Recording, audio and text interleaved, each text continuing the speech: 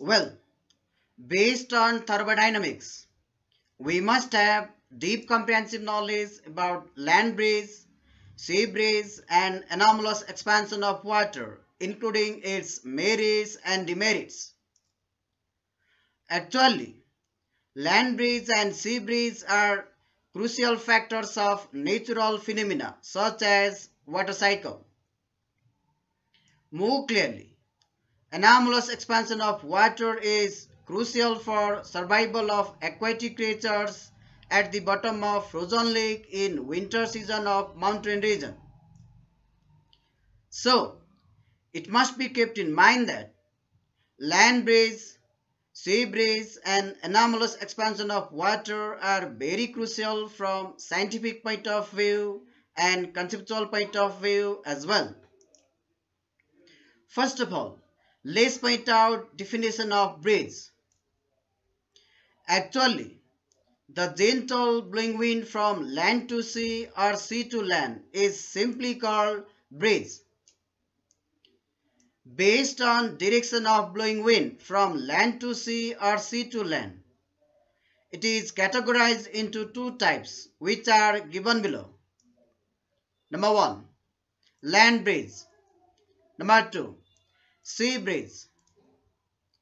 At first, let's point out Definition of land breeze. Actually, the blowing of wind from land to sea usually at night time is called land breeze. Here, from the definition of land breeze, it is clear that land breeze occurs at night time. So, let's move on to scientific reasons behind occurrence of land breeze at night time. Actually, at night time, the air molecules above the land are colder than air molecules above the sea. Consequently, the density of air molecules above the land is greater than that of air molecules above the sea and hence wind blows from higher density to lower density resulting land breeze. Similarly, Let's point out sea breeze. Actually, the blowing of wind from sea to land usually at daytime is called sea breeze. Here, from the definition of sea breeze, it is clear that sea breeze occurs at daytime. So, let's point out scientific reasons behind occurrence of sea breeze at daytime. In fact, at daytime, the air molecules above the sea are colder than air molecules above the land. Consequently, the density of air molecules above the sea is greater than that of air molecules above the land and hence wind blows from higher density to lower density resulting sea breeze.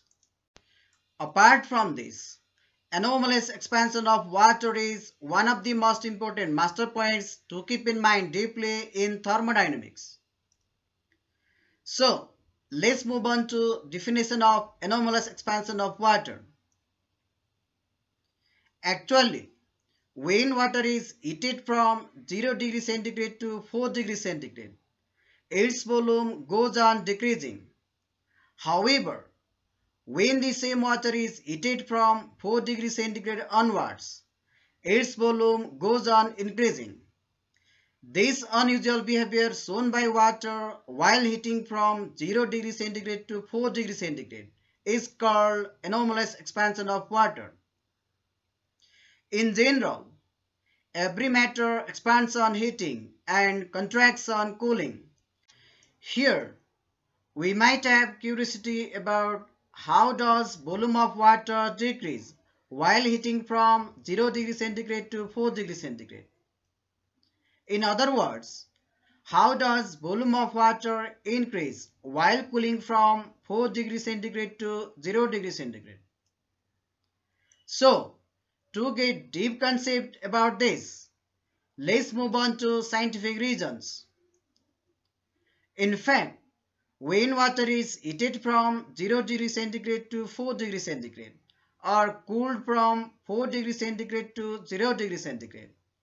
Its molecules are arranged themselves into a crystalline structure as ice, creating more intermolecular space in comparison to the arrangement of molecules in liquid state. More clearly, the unique hydrogen bonding structure is the causative factor of anomalous expansion of water. Based on anomalous expansion of water, we need to point out different natural facts which are given below. Number 1. Ice floats on water. Number 2. It affects aquatic creatures in winter seasons of mountain region. Number 3.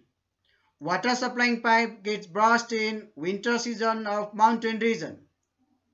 Moreover, anomalous expansion of water consists of several merits, including survival of aquatic creatures at the bottom of frozen lake in winter season. Probably, we might have seen survival of aquatic creatures at the bottom of frozen lakes. However, we may not be familiar about scientific reasons behind this. So, let's move on to scientific reasons behind survival of aquatic creatures at the bottom of frozen lakes in winter seasons of mountain regions. Actually, the temperature of water falls below 0 degree centigrade in winter seasons of mountain region. Moreover, the density of water is the greatest at 4 degree centigrade, due to which the temperature of water becomes 4 degree centigrade at the bottom of frozen lake. However, the temperature of same water becomes 0 degree centigrade at its surface, resulting ranging of temperature from 0 degree centigrade to 4 degree centigrade while moving from top to bottom and hence Aquatic creatures can easily survive at the bottom of frozen lake in winter seasons of mountain region. Moreover, specific heat capacity is one of the most important master points to keep in mind deeply in thermodynamics.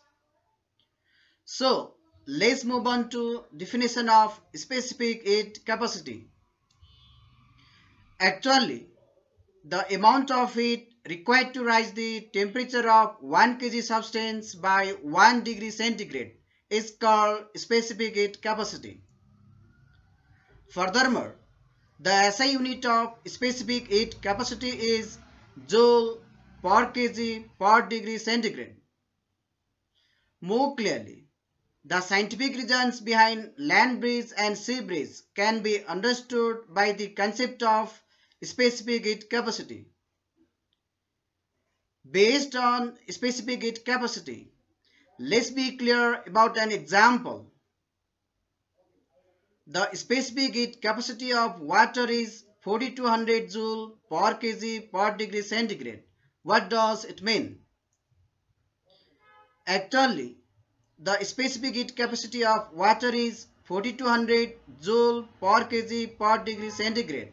It means 4200 joule of heat energy is required to rise the temperature of 1 kg water by 1 degree centigrade. Also, anomalous expansion of water consists of several demerits, including sudden bursting of water supplying pipes in winter seasons of mountain regions.